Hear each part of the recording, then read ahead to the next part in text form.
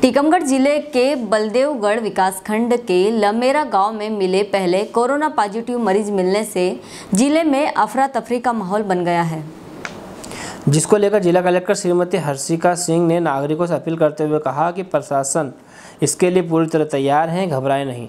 सभी अपने अपने घरों में रहे आप सभी शासन के गाइडलाइन का पालन करें और घरों के बाहर बिल्कुल भी न निकले। टीकमगढ़ से मनोज खरे की रिपोर्ट। प्रिय टीकमगढ़ वासियों आज हमारे टीकमगढ़ ज़िले में एक केस पॉजिटिव आया है। एम्स भोपाल से प्राप्त जो रिपोर्ट है आज सुबह की, उसमें एक व्यक्ति हमारे बलदेवगढ़ क्षेत्र में वो पॉजिटिव पाया गया है। मैं इसको लेकर मैं आपसे ये अपील करना चाहूँगी कि आप कतई भी घबराएँ नहीं। वहाँ पर जो भी हमें प्रोटोकॉल के अनुसार जो तैयारियाँ करनी हैं, वो सारी तैयारियाँ कर रहे हैं। जो व्यक्ति है वो पूरी तरह से अभी स्वस्थ है। उसका मेडिकल परीक्षण भी करवाया जा चुका है। उसमें किसी भी तरह के कोई भी लक्षण या सिम्टम्स पाए नहीं गए हैं और वो हमारे मेडिकल सुपरविजन पे है। वहाँ पे जो कंटेनमेंट जोन बना के हमें जो कार्रवाइयाँ करनी हैं वो पूरी कार्रवाई के लिए अ, हमारा पूरा अमला ऑलरेडी इसमें काम कर रहा है।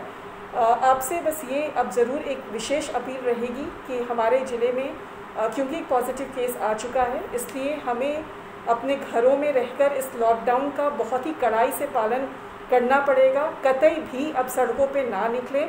घबराए भी नहीं। हम सब बिल्कुल इस इमरजेंसी के लिए बिल्कुल तैयार हैं। हमारी पूरी टीम तैयार है। आप बस घर पे रहें, अपना और अपने परिवारजनों को का ध्यान रखें और कतई भी सड़क पे अब बिल्कुल भी ना निकलें। बहुत बहुत धन्यवाद।